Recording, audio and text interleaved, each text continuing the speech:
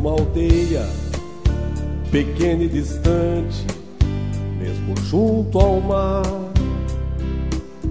onde as pessoas comentam que nas águas profundas não se deve pescar. Os mais velhos ensinam que existe um mistério naquele lugar. Uma jovem mulher ali se afogou, tudo escureceu.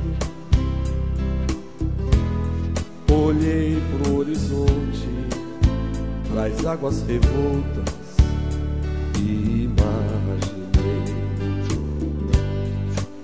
Deve haver muito peixe, mas pra lá ninguém vai. O que aconteceu? Caminhando eu vi a solidão.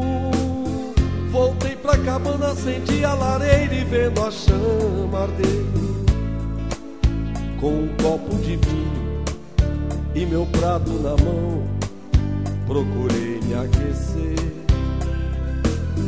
Ainda confuso eu adormeci.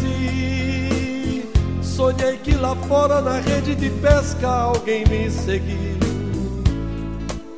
Ouvi a porta se abrindo, vi uma sombra no fogo do meu leito vazio. Dos meus olhos uma lágrima saiu. Eu senti que ao meu lado se livrando do frio, deitou-se uma linda mulher. Ela me contou que foi desprezada e atirada ao mar. Porém, sua alma negou-se a morrer no desejo de amar. Apertou minha mão beijou minha face depois desapareceu. Assustado eu acordei, ouvindo sua voz através da neblina de longe a me chamar. Apanhei minha praia, corri pela praia, decidi lhe salvar. Ganhei forças para remar, nem que seja preciso levar o meu barco até o fim. Tenho a esperança que se um dia eu voltar, vou trazê-la pra mim. Dos meus olhos uma lágrima saiu.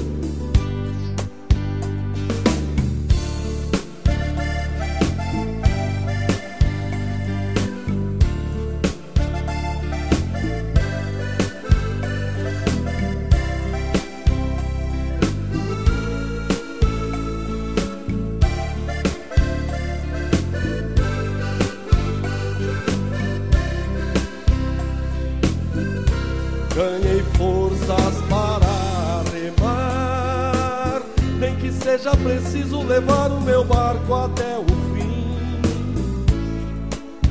Tenho a esperança que se um dia eu voltar, vão trazê-la pra mim. Tenho a esperança que se um dia eu voltar, vão trazê-la pra mim.